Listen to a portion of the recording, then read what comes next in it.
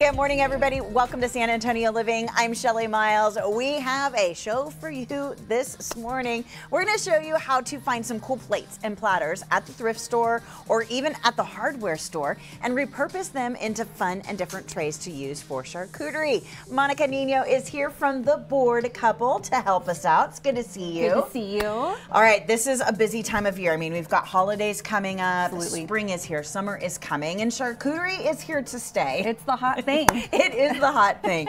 And I love this concept. You can basically use anything Absolutely. and use it as a tray for charcuterie. Yeah, a lot of folks are doing spring remodeling right now, cleaning out the garage. Yeah. You know, even thrift shopping, you can find some of these. So I thought, you know, if you're doing a, a home improvement project, you're going to end up with a ton of leftover textiles. What better way than to repurpose them in a charcuterie board? It's also a fun way if you're moving into a new house to kind of do a, a welcome home party. Such a good Yeah. idea. I love it. And height is key too. Yes. What, these are like old wine boxes. Old wine boxes, Okay. but of course you can use anything that you have laying around the house to Is give this it a height. piece of a roof this tile? Is a roof tile. Okay. So this one.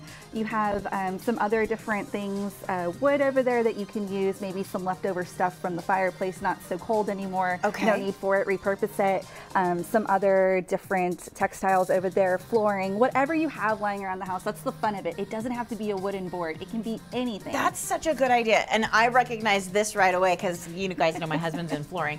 Piece of floor, piece Yep. of tile, and you know, you could put them together and create whatever kind of pattern you want and Whatever then fill it up with charcuterie. Absolutely. So that's the whole fun of it. Just kind of coat it, wipe it down, coat it in something that's Okay. food grade safe, and then you can go to town and build whatever you want on top of it. Okay, shall we start? Yes. Okay, what's the first, like when I'm building a shark, I'm, I'm gonna use these right here. I love it. When I'm building, what's the first layer, would you say? Your first layer of foundation is always going to be nuts. Nuts, So you're going to want to put that down. Okay, like I'm looking at yours for an example. Yeah. Okay, so we're just gonna do a couple of nuts right here. Yeah. And then maybe over here.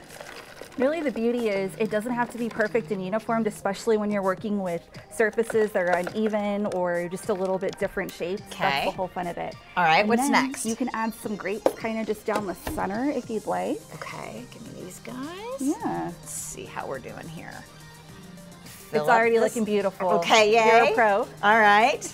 Do you want to dump some berries kind of in there in between the grapes, Hmm. Like, okay, like Yeah. in between. go right. for it. Look at that. It's time. It, this is fun for the kids. It's a little creative. It's fun to get messy.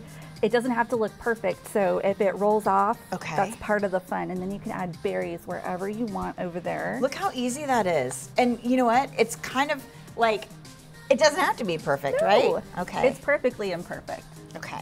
Good deal. Awesome. So then you want to just kind of add the pear in the back somewhere over by the grapes, wherever you see fit. Okay. And we're gonna go ahead and add the cheeses. So Okay. you wanna do a savory side and a sweet side. okay. So savory. savory, yeah. Yes, got that. Wherever you want over there, yep. Okay.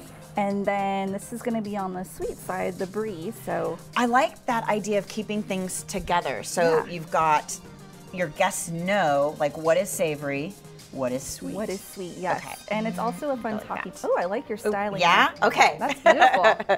Look at you. Uh, and then the dried mango is gonna go on the sweet side. Sweet So you can kind of do it as an accent over there. Okay. Fun part is the goat cheese. It's a little bit of a messy sport with the goat cheese wherever you Um, want to stick it. I feel them. like it's gonna go right here. I like it. Okay. Give it a little push in the center. Boom. Okay. Perfect. Like so. Yeah, and you're gonna add Oh, some peach preserve on in there. Look at that. You're a pro. It's coming done together this so a time or nicely. Yeah. Look at that. Okay. All Time right. for our meats. Meats, So if you want to scatter these, just kind of like wherever you see fit around the board. Okay. Very professional. I try. Those can go anywhere over there on the savory side. Look at that. Yeah. The ham, you can put it over here on the sweet, kind of by the Oh, brie. I almost lost a ham. Oh no, ham down. ham down. Stay with me, ham. and then prosciutto, that's kind of a switch hitter. You can put it sweet or savory. Okay. You've got your antipasto. Your board is looking awesome. Well, I try. I mean, heck. Very professional. Look at that. And really, this is what it's all about just kind of splattering things Yeah. here and there. Kind of your just do favorite the spot? chocolates oh, over chocolates. here. Yeah, that's gonna have to go right there. yeah, just kind of just putting it all over here. As it all comes together, look at how fun that is. We didn't spend any money on No. any dishes because we used stuff that we had around the house, which is super simple. Now, if you don't want to do it yourself, we know some people who you can call the board couple. They are here in San Antonio. They have a brick and mortar that you can go visit on Zarzamora Street. They've also opened up a new location in Comfort. It's at 804 High Street. If you've got questions, you can call Monica at 210 573 2100. You can also visit theboardcouple.com.